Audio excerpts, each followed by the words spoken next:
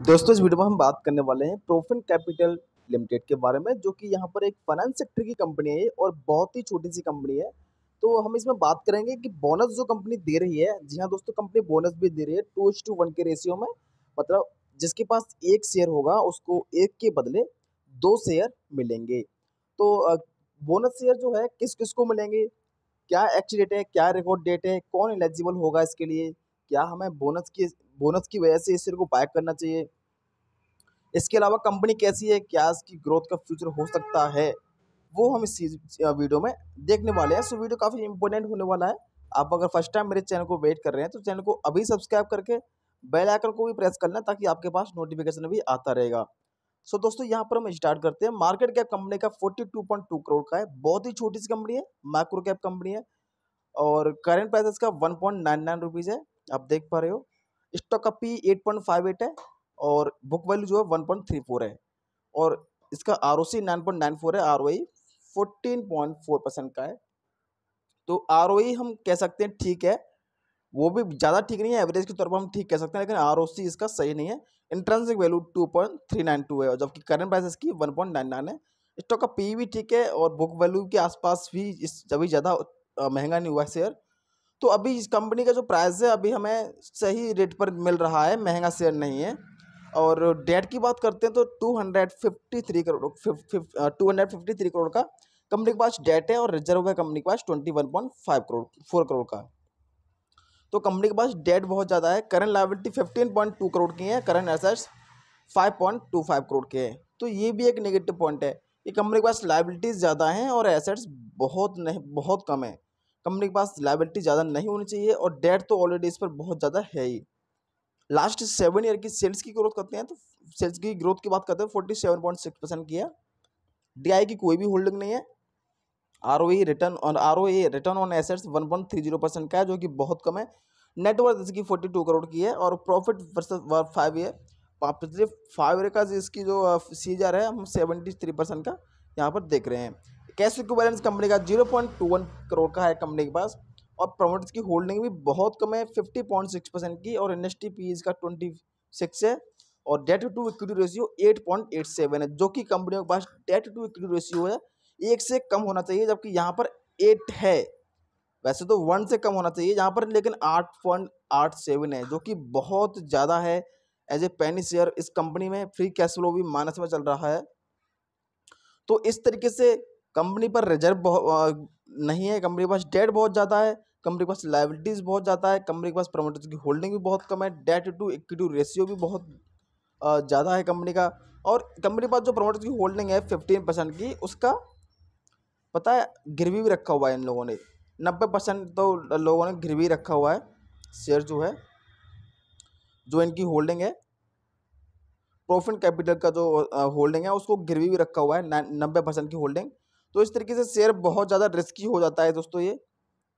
देखो यहाँ पर देखोगे आप प्रोमोटर है pledge ninety point six percent of their holding तो ये शेयर इन्होंने गिरवी भी रखा हुआ जो कि बहुत रिस्की वाली बात है।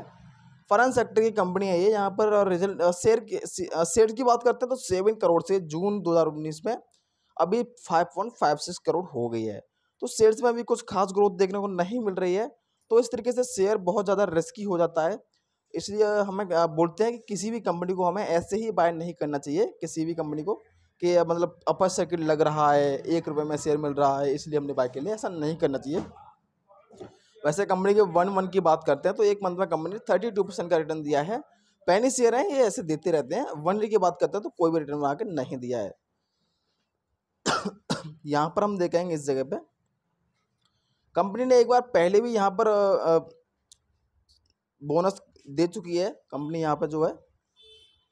उसके बाद इसमें एक गिरावट देखने को मिली थी। मैक्सिमम चार्ट अगर हम ओपन करते हैं यहाँ पे तो अब तक कंपनी ने पाँच परसेंट का रिटर्न दिया है कंपनी ने। वैसे हम हाईएस्ट पॉइंट पर बात करते हैं यहाँ पर टच करके तो कंपनी ने कई हज़ार परसेंट का प्रॉफिट में आके दिया था। नौ दस हज़ार परसेंट का।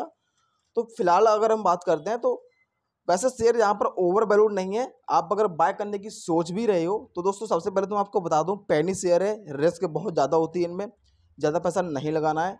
और अगर आप बात करने बाय करने की सोच भी रहे हो तो आप इसी लेवल पर बाय कर सकते हो। आप यहाँ हाई पे बाय करोगे तो वो बहुत ज़्यादा रिस्की और हो जाएगा, क्योंकि यहाँ पर शेयर अभी ओवर वैल्यूड नहीं है। बाकी मैं आपको बता दूँ कंपनी का एक भी फंडामेंटल्स अच्छा नहीं है। कंपनी के प्रोमोटर्स की होल्डिंग गिरवी रखी हुई है। एफ़ आई वालों के पास कोई भी होल्डिंग है नहीं। लाइबिलिटी ज़्यादा है, कर्जा ज़्यादा है। तो अपने लेवल पर रिस्क रिसर्च करके रिस्क ले करके अपने फाइनेंशियल एडवाइजर से सलाह लेकर के ही बाय करें। बाकी आपको बता दूँ कंपनी ने जो बोनस का अनाउंसमेंट किया था, वो आठ तारीख नौ महीने 2022 को अनाउंसमेंट किया था कंपनी ने। आप यहाँ पर देख सकते हो एक बार, मैं आपको दिखा दूँ। सत्रह एम्प्लॉय केवल कंपनी में काम करते हैं। आप यहाँ पर एम्प्लॉयज़ भी देख लिए, कितनी छोटी कंपनी है। ओनली सत्रह एम्प्लॉयज़ कंपनी में काम कर रहे हैं दोस्तों। बहुत ही छोटी सी कंपनी है।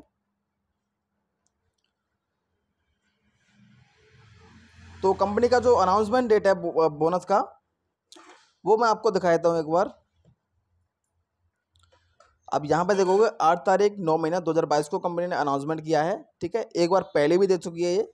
इक्कीस तारीख, तीन महीना 2022 जो कि मैं अभी आपको बता रहा था, अप्रैल के आसपास जो एकदम एकदम से भारी गिरावट देखने को मिल रही है, वहाँ पर बोनस दिया था कंपनी ने, उसके बाद ये प्राइस एडजस्ट हुआ था। तो कंपनी ने फिर अनाउंसमेंट कर रखा है रिकॉर्ड डेट और एक्स डेट अभी यहाँ पर आई नहीं है तो इसलिए मैं आपको बता नहीं सकता। अगर rock record date ex date आ जाएगी तो आपको अपडेट चाहते हो तो कमेंट्स करके ज़रूर बताना, मैं आपको वीडियो बना के बता दूँगा, ठीक है? सो मेरी मेरी तरफ़ से तो दोस्तों मेरा इस शेयर को बाय करने का कोई भी रिकमेंडेशन नहीं है। बहुत ही रिस्की शेयर है। हम बोनस के ही उसके लिए वो बाय कर लें ऐसा कोई मज़बूत शेयर भी नहीं है कि हमें बोनस भी मिल जाएगा और शेयर भी मज़बूत है और सस्ते में मिल रहा है ठीक है? ऐसा है तो मान लीजिए या तो कोई कंपनी अच्छी हो बहुत फंडामेंटल स्ट्रांग हो ठीक है? और दूसरा सस्ते में मिल रही हो बोनस भी तो, तो हम बाय भी करेंगे चलो बोनस भी मिल जाएगा और सही टाइम पर शेयर मिल रहा है हमें। सही प्राइस पर। तो हमें वो भी नहीं मिल रहा तो हमें इसको बाय नहीं करना चाहिए। बाकी दोस्तों, आप अपने लेवल पर रिसर्च करके बाय करें। ब्लाइंडली बिलीव किसी पर नहीं करना है। सो वीडियो अच्छा लगा तो चैनल को सब्सक्राइब ज़रूर कर लीजिएगा। कमेंट्स करके बताइएगा किसी पास कितने शेयर हैं और किस प्राइस पर ताकि कुछ डिस्कस भी हो जाएगा। रही बात इसके फ्यूचर ग्रोथ की तो फाइनेंस सेक्टर की कंपनी है। फ़िलहाल तो इसकी कोई ग्रोथ का पोटेंशियल नहीं दिख रहा है, क्योंकि कंपनी पास कर्जा बहुत ज़्यादा है और और क्या बोलते हैं कंपनी के प्रमोटर्स की होल्डिंग भी सारी गिरवी रखी हुई है। और कंपनी के शेयर्स में भी कोई ग्रोथ नहीं हो रही है। तो अभी इसको नेगलेक्ट करके चलें। अभी इसका कोई फ्यूचर का ग्रोथ हमें नहीं दिख रहा है। सो ठीक है। Thanks for watching and subscribe now